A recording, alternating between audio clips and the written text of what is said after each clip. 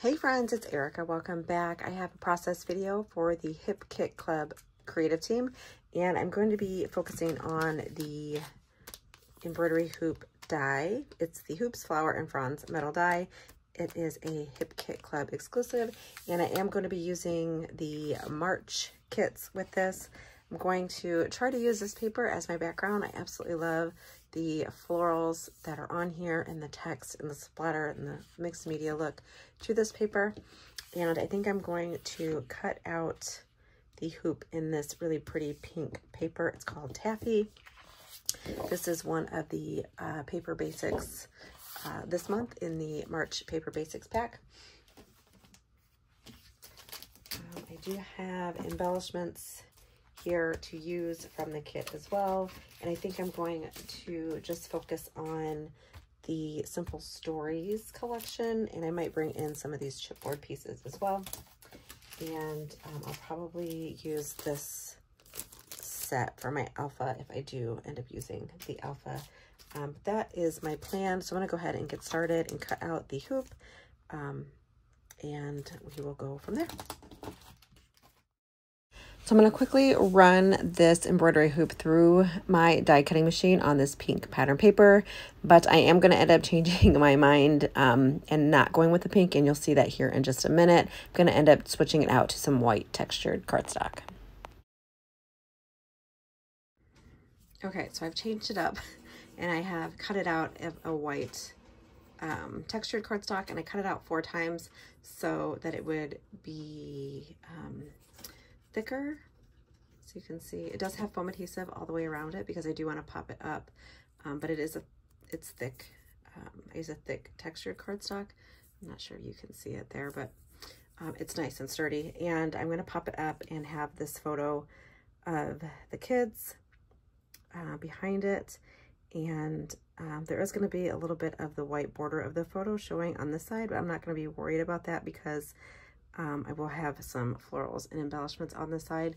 I'm still not sure if I'm going to end up using this background or if I'm going to swap it up or swap it out, um, but I'll figure that out here in just a little bit. But I, I did do the white, um, and I'll probably end up doing a white background with maybe some splatters or maybe even use the splatter stamp from the um, color kit. I'm really not sure um, exactly what I want to do, but I am going to change it up and not do the pink hoop and then go with this. Um, let's see. The pink one is pretty. I guess I could layer it, layer this textured up on this white to really pop it up, but um, we'll see. We'll see what I end up doing.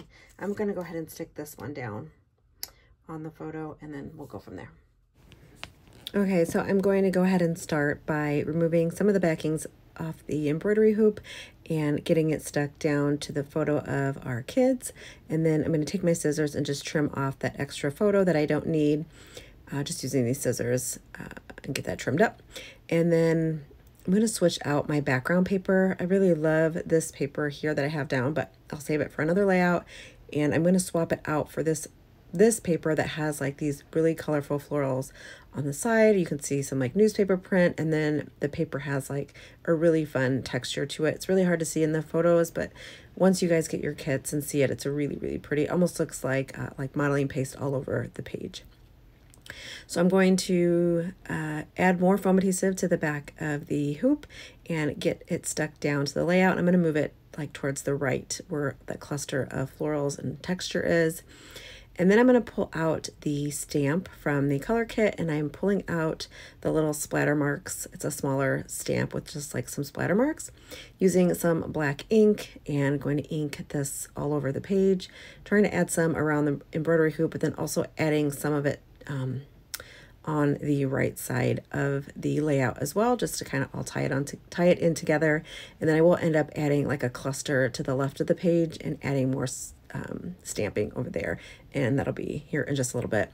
The layout came together really, really quick. Um, I love the embellishments that are already there on the paper, so I didn't really have to add a whole lot to it. Gonna go through the embellishments and see what I wanna use. Um, I used a large chipboard title piece that says beautiful and I love the way that that looks as it's popped up there at the bottom of the embroidery hoop um, this die is really really fun and it's got some leaves and things in it as well um, and there's two different size hoops that you can pick from so I was debating on if I wanted to use two, like both sizes and do two different photos, but I did just end up doing one. I do want to cut out a bunch of the smaller hoops and create a grid layout with that. I think that would be really fun to do as well. So if you haven't picked up this die, um, I think it is a must-have and there's lots of different things you can do and I'm excited to see what the rest of the team ends up doing with this die. I took one of the large florals from the cardstock stickers um, from the sticker book, cut it in half, and I'm going to add it to, um, like tucked in around the embroidery hoop, and then add a couple of these really pretty butterflies from the cardstock sticker sheet. And I'm going to add one on the chipboard title as well. Just going to tuck some things in around the hoop just to kind of fill it in and to make it look like it's all like one giant piece of floral um, on that right side of the layout. So it's going to tie in with the printed paper and it's just so pretty. It's absolutely gorgeous.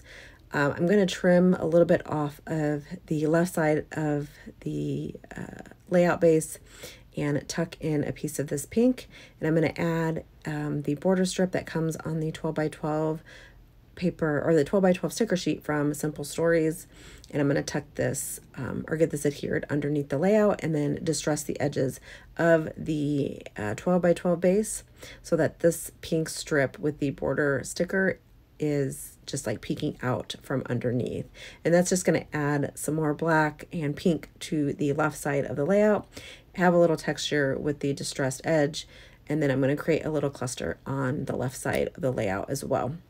That border sticker is super sticky. you could see that I got stuck to that pink paper and it did like curl it a little bit and it made it look distressed even more, um, which is totally fine because the layout is a little bit distressed and vintage looking. So it, it worked out in the end. So I'm just going to use my mat here to get everything lined up and then get that stuck down and then just ruffle up the edges of the white paper. I'm going to create a cluster here with one of the chipboard pieces.